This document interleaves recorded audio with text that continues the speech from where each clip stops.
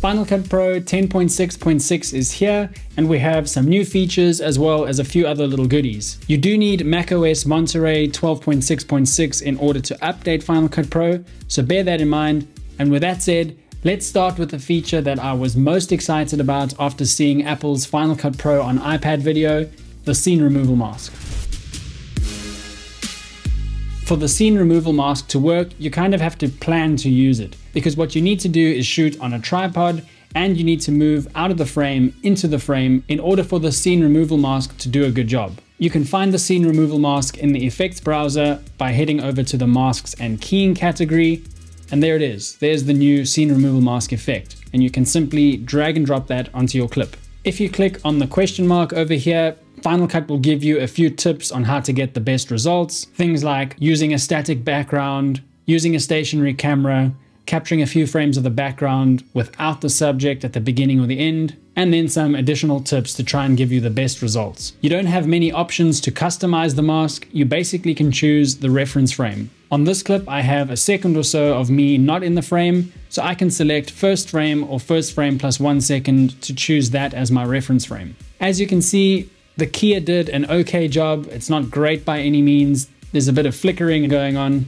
And overall, I must say that I'm really disappointed with this feature. I thought it would be something a lot more like Keyper, Keyper is a great plugin that you can use to isolate subjects from the background, so I'll leave a link to that down below if you'd like to check that out. And if you'd like to see a dedicated video on Keyper, let me know in the comments down below. The demo on the iPad video made it seem like you could grab this moving subject and Apple would automatically just detect it and remove it, no rotoscoping, no green screen required but I don't think it's the rotoscope green screen killer that we all hoped it would be. It's, uh, it's a little bit disappointing, to be honest. If you take a shot like this where the person doesn't leave the screen and you add the scene removal mask, the results are pretty terrible, obviously. I can see it working in some instances if you have a talking head of someone on a white background and the client didn't have a green screen for example and you want to remove that background and replace it, it would probably do an okay job, but if you had Keyper, it would do that anyway. Next up, let's take a look at some of the new additions to Final Cut Pro in the form of dynamic backgrounds, dynamic titles, and dynamic transitions. If you head over to the titles in your browser window and look for dynamic titles, you can see a bunch of new titles here that now come built into Final Cut Pro. Some of them are pretty cool, nothing too groundbreaking, but it's always cool to have some new title options, so these are pretty cool.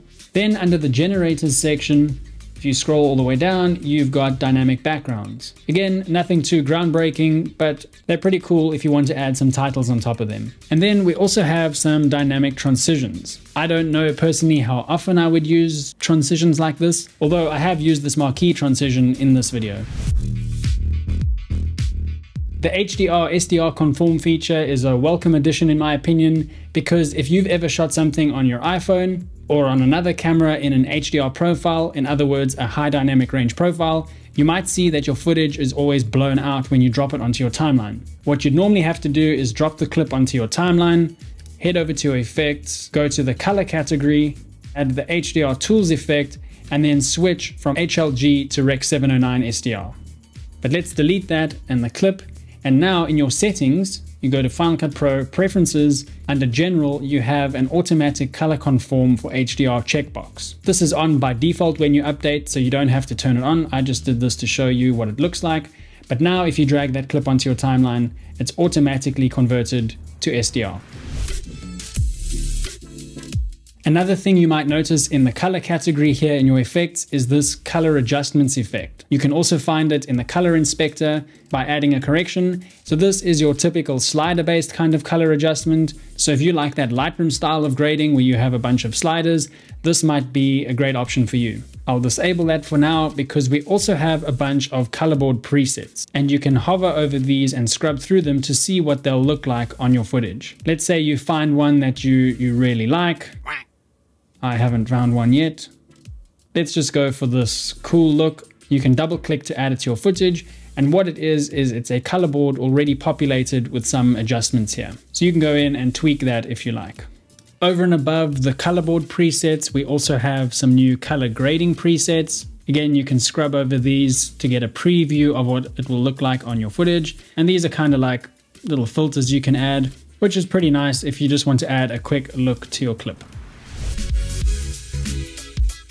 Another new feature is some audio effects. So if I scroll down to my audio effects here and I go to spaces, I have a really cool new Chromaverb reverb plugin, which gives you some nice control over your reverb if you want to add reverb to dialogue for any reason or to your sound effects. Also new in the effects under EQ is a vintage tube EQ. And you can play around here to get some really cool effects. And there's also a bunch of presets that you can use. This is a Logic plugin, so you have a bunch of music related type presets. There is also a new de-esser plugin, a de-esser 2, but unfortunately that's about as exciting as it gets for new effects. There's also a new export option. If you go over to File, Share, you'll see that we have a new HEVC or high efficiency video codec export option. And if I come over into the settings, under video codec, you can even export a 10-bit HLG file, which is really nice. And the format is an MP4 file. There are also a couple of additional enhancements like the ability to use the new ProRes RAW settings. You can also install a ProRes RAW plugin from your camera manufacturer.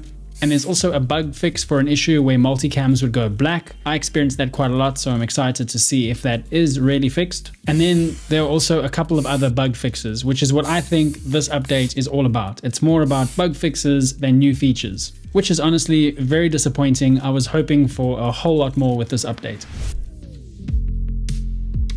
As with all Final Cut Pro updates, there's bound to be something that stops working. Companies like Color Finale and Motion VFX have warned people against upgrading right now. I've tried all my Motion VFX plugins and they all work, as well as Color Finale, but I have found that Cinematch and Nitrate, both from Film Convert, are not working on Final Cut Pro 10.6.6. So if you use those plugins, maybe you want to hold off on updating. I think the main reason for this 10.6.6 update is to make it compatible with the Final Cut Pro iPad app so that you can import Final Cut Pro projects from the iPad onto the Mac. I don't have an iPad, so I can't test that, but there are some guys out there like Matthew O'Brien and Dylan Bates who are making content around FCP on the iPad. So if you're interested in the iPad version, make sure you subscribe to both of them so that you can stay up to date with what's happening on the iPad version and the integration between the iPad version and the macOS version. If you do decide to update, make sure you watch this video before you do because I'll give you some tips on the best practices for updating Final Cut Pro so that you can roll back to a previous version if you need to.